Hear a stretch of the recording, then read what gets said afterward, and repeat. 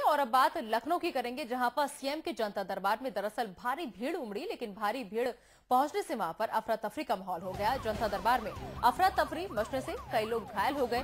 योगी के जनता दरबार में बड़ी संख्या में दरअसल फरियादी अपनी फरियाद लेकर पहुँचे थे और इस भीड़ को बेकाब काबू करने के लिए अतिरिक्त पुलिस बल भी लगाया गया।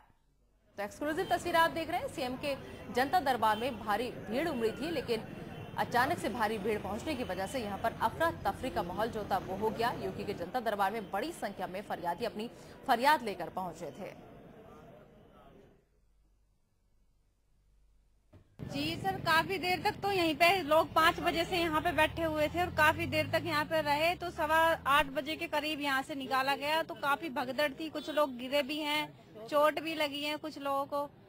लेकिन ज़्यादा वैसे गंभीर हालत में कोई नहीं है। तब आप भी गई थी जी मैं भी वहीं पे ही थी। कुछ लोगों को तो हमने खुद ही उठाया था। दर्द हुई कुछ महिलाएँ तो जो गिर गई मैं उठ नहीं पाई। जो बेचारी बूढ़ी औरतें थी मैं एक बार गिर गई तो उन्हें कोई उठाने वाला भी नहीं दिखा कि वो उन्हें ये दिखा कि मुख्यमंत्री से मिलना तो मिलना जाकर।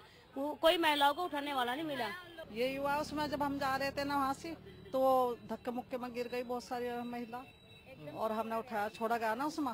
तो हम जा रहे थे जैसे तो वो नीचे गिर गई बल्कि हमने उठाया। और तो नहीं नहीं चोटें तो आई नहीं वैसे किसी के मतलब उठाया वैसे घिसे विसर तो थोड़ी बहुत ही तो लगी ही उनमें। मुख्यमंत्री योगी आदित्यनाथ से मिलने के लिए भोर सी मच रही है। दरअसल जिस धरना स्थल पर लोग जमा होते थे अपनी समस्याओं को लेकर वहाँ पर धरने देते थे अब वो परंपरा कहीं न कहीं टूट रही है। दरअसल योगी आदित्यनाथ अब सीधे जो फरियादी हैं उनसे मुलाकात कर रहे हैं। तो ऐसे में धरना स्थल खाली है और फरियादी सीधे सीधे मुख्यमंत्री योगी आदित्यनाथ की चौखट पर अपनी फरियाद लेकर पहुँचते हैं और सुबह होते ही यहाँ पे इकट्ठे हो जाते हैं। तो कुछ अव्यवस्थाएँ ज़रूर नज़र आती हैं, जैसे ही वो आते हैं तो कहीं ना कहीं मिलने को लेकर होड़ ज़रूर रहती है। आज भी कुछ इसी तरह से हुआ। आज इस पर कहीं ना कहीं यहाँ के जो सुरक्षा कर्मी है और जो सुरक्षा का जिम्मा जिनके पास में है, वो आज इस यहाँ पे जो सुरक्षा लगी है, उसको कहीं ना कहीं तब्दील करने की भी कोशिश कर रहे हैं कि इसमें जो सुरक्षा कर्मियों की संख्या है, उसे बढ़ाया जाए। क्योंकि फरियादी काफ़ी संख्या में आ रहे हैं। आपके मुख्यमंत्री जी से मिलने जा रहे हैं? क्या समस्या है आपकी? समस्या भाई, हमारे लड़ी का मार डरोगा और कहाँ से आए हो? बूढ़े गाँव से।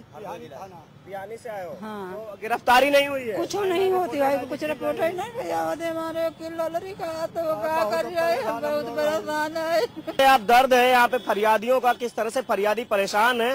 हालाँकि इस तरह अब चूँकि धरना स्थल जो यहाँ का लखनऊ का धरना स्थल है, वो अब पूरी तरह से खाली रहने लगा है और जो भी फरियादी हैं, वो मुख्यमंत्री योगी आदित्यनाथ की चौखट पर पहुँच रहे हैं। इसी आस के सहारे, इसी उम्मीद के सहारे अब उनकी समस्याओं का समाधान होगा। कैमरामैन मिनहाज के साथ संकेत में